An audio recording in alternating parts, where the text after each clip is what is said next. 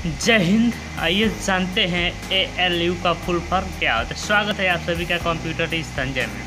तो आज जानते हैं कि ए एल यू का फुल फॉर्म, जो कि आपके कंप्यूटर के फंडामेंटल में पूछा जाता है ए एल यू तो ए एल यू का फुल फॉर्म होता है arithmetical logical unit arithmetical logical unit जो कि आपके कंप्यूटर के फंडामेंटल का मोस्ट इंपॉर्टेंट प्रश्न है, जो कि इसका फुल फॉर्म होता है अरिथेटिकल लॉजिकल यूनिट जय हिंद, जय भारत।